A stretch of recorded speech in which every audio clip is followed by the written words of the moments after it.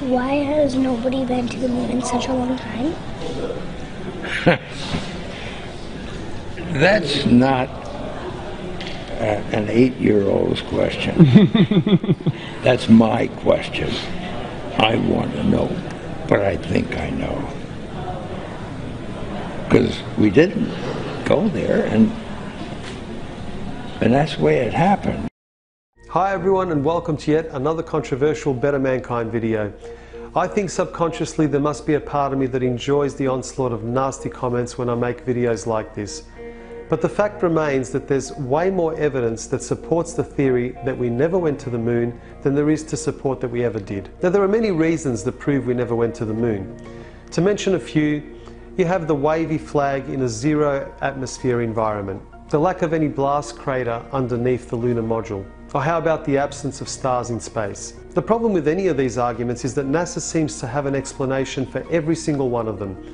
Therefore, people like me and other moon landing deniers are referred to as a bunch of crazy tinfoil hat wearing conspiracy kooks that need to up their medication. So in this video, I'm only going to address a single discrepancy that NASA themselves have admitted to on more than one occasion and will prove without a doubt that we have never even left low Earth orbit let alone landed a man on the moon.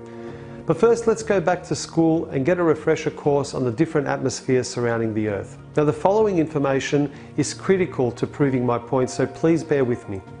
First, we have the troposphere. This is where all of our weather occurs, and it is the lowest layer of the Earth's atmosphere. It starts at the Earth's surface and extends up to a height of 4 to 10 miles. Next, we have the stratosphere, which extends to about 35 miles above the Earth's surface. This is where our ozone layer resides and protects us from those dangerous UV rays. It is also the layer where aircraft travels as it is free from weather disturbances. Now we go up to the mesosphere where most meteors burn up on entry. The mesosphere stretches up to 50 miles above the Earth's surface. Next we have the thermosphere and this layer extends up to 400 miles from the Earth's surface and the air here is very thin. Also temperatures here start to get really hot ranging anywhere from 200 to 500 degrees Celsius and 500 to 2000 degrees Celsius in the upper region. And last but not least is the exosphere. The temperature in the exosphere can vary from 0 to 1700 degrees Celsius.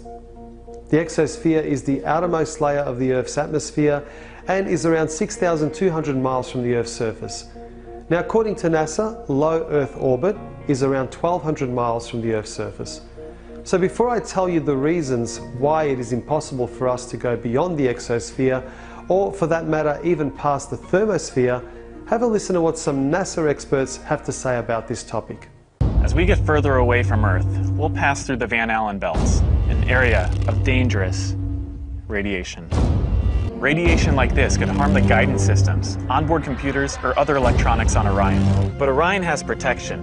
Shielding will be put to the test as the vehicle cuts through the waves of radiation. Sensors aboard will record radiation levels for scientists to study. We must solve these challenges before we send people through this region of space. Hang on, hang on.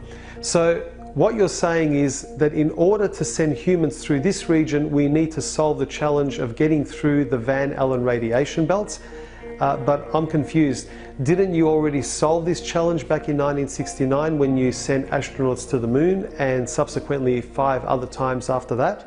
But we're also really pushing the boundaries in terms of where we're going forward with exploration. I think uh, humans are naturally driven to do this, and this is really the beginning, I think, of human beings leaving low Earth orbit. I certainly plan on being around to see that. So she's a NASA astronaut, but I guess no one bothered to tell her about the first time that we left low Earth orbit. I guess she might be a little too young to remember. Here we have another astronaut that wasn't told about the moon landing 48 years ago. Uh, the plan that NASA has is to build a rocket called SLS, which is a heavy lift rocket. It's something that is that is much bigger than what we have today, and it will be able to launch the Orion capsule with humans on board as well as uh, landers or other uh, components to to destinations beyond Earth orbit. Right now, we only can fly in Earth orbit. That's the farthest that we can go. We only can fly in Earth orbit. That's the farthest that we can go. And this new system that we're building is going to allow us to go beyond and hopefully take humans into the solar system to explore. So, the moon, Mars, asteroids, there's a lot of destinations that we could go to, and we're building these building block components in order to allow us to do that eventually. Once we once we travel beyond low Earth orbit, the crew will be exposed to larger amounts of radiation. So we have to design both the crew protection systems and our electronic systems to withstand this radiation. So that would mean that Neil Armstrong, Michael Collins, and Buzz Aldrin were a tough bunch of SOBs able to withstand all that brutal radiation, considering these challenges are still yet to be solved. So, how is it that we had the technology to achieve this amazing feat back in 1969, but we're still working on the technology in 2017, almost half a century later? Well, I managed to find a very clever and well informed astronaut that will totally straighten things out for us and explain exactly why we're not able to return to the moon uh, and break through those Van Allen radiation belts. Have a listen to this clever chap. I'd go to the moon in a nanosecond. Uh, the problem is we don't have the technology to do that anymore. We used to, but we uh, destroyed that technology and it's a painful process to build it back again. This guy, oh boy. Here's a real life example of what can happen to you when you're exposed to all of that outer space radiation.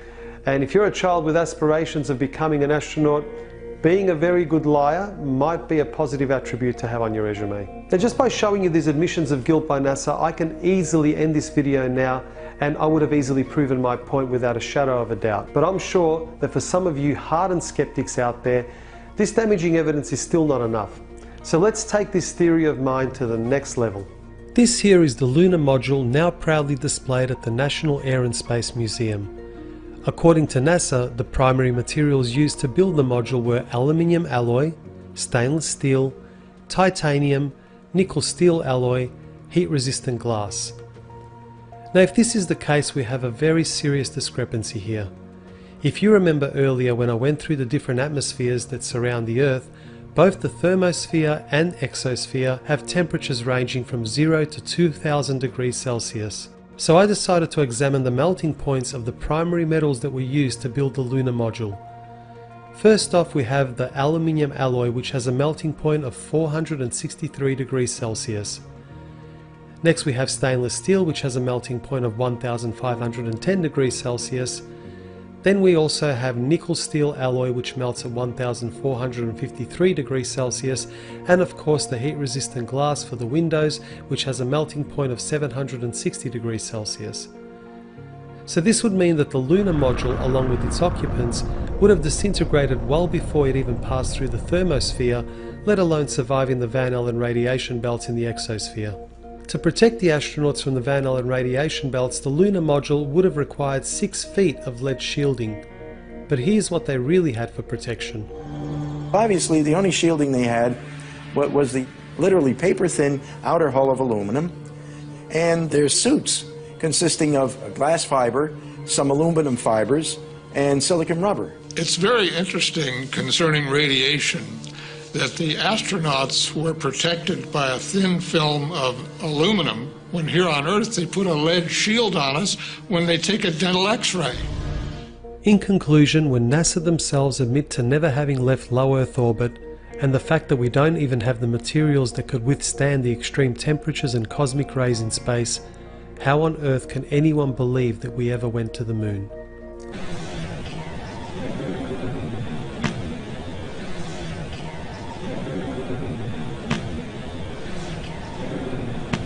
Why has nobody been to the moon in such a long time? That's not uh, an eight year old's question. That's my question. I want to know, but I think I know. Because we didn't go there, and and that's the way it happened. And, and if it didn't happen, it's nice to know why it didn't happen so in the future if we want to keep doing something we need to know why something stopped in the past that we wanted to keep it going. Because we didn't go there and and that's the way it happened. And and if it didn't happen it's nice to know why it didn't happen so in the future, if we want to keep doing something, we need to know why something stopped in the past that we wanted to keep it going. that this nation should commit itself to achieving the goal before this decade is out of landing a man on the moon and returning him safely to the earth.